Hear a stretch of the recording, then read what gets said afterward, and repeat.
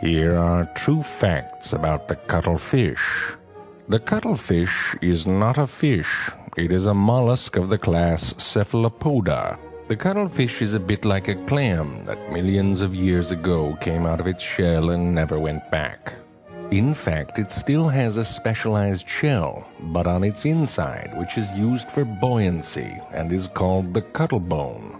People for a long time have used this shell to carve casts for metal jewelry. These people are called cuttleboners. By me, and now by you. To move through the ocean, the cuttlefish has a wavy, wavy fin that surrounds its mantle. It also has a siphon, a muscular tube it can squirt water out of for fast propulsion. Imagine trying to move by vomiting out of a giant straw and flapping your skirt around very, very fast. That is how a cuttlefish do.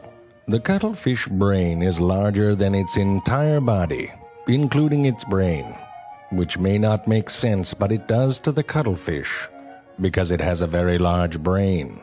The cuttlefish has a very advanced eye, roughly in the shape of Charlie Brown's mouth when he misses a football or perhaps a W that someone wrote when they were drunk, or the letter Q that someone wrote when they were really drunk. Despite its big brain and weird eyes, the cuttlefish is colorblind, which is curious because it is a color magician of the deep. Like a lactose intolerant cheesemaker, the cuttlefish is unaware of its own gifts. With the help of millions of color changey things in its skin, it can change color and texture almost instantaneously. Playing hide and seek with a cuttlefish sucks. They don't move, they just change color. You can hear them breathing while you count. How the cuttlefish determines the backgrounds it blends into is largely a mystery, because it can do it in complete darkness, which is kind of a dumb gift if you ask me, but still amazing.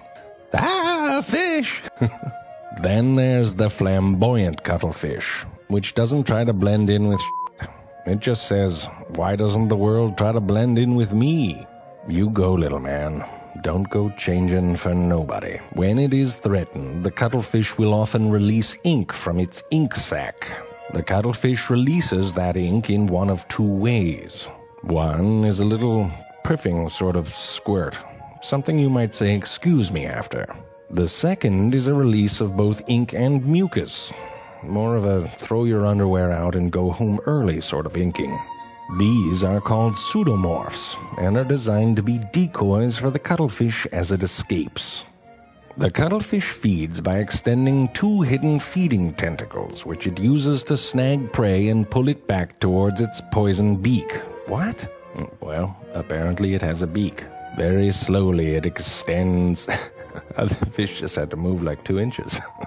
Cuttlefish mating begins when the male delicately grabs the female by the face and inserts another specialized tentacle into an opening near her mouth, which I hope is not her nose, and inserts sperm sacs. Males have four pairs of arms and females have three. Weaker males often disguise themselves as females by hiding two of their arms. This reminds me of what I may or may not have done in the mirror as a young boy. These cleverly disguised males swim right past the competition and do the face sex thing. After the female eggs are fertilized, she gingerly and lovingly puts her eggs in some random friggin' hole on the bottom of the ocean. The eggs are called sea grapes by people who like shitty wine, and they are guarded by the couple until they hatch into the cutest little freaks in the universe. These little babies are not so good at the camouflage, but they do the best that they can. Cover yourself up, little man, and sleep tight. Remember, if you ever want to come out of your shell and let your freak flag fly, the cuttlefish has your back. Or front. I don't know. I can't tell with them what, what's front and what's back. Point is, don't let the tentacle parts wrap around your head. Or if it happens, plug your nose. Because your nose might get pregnant.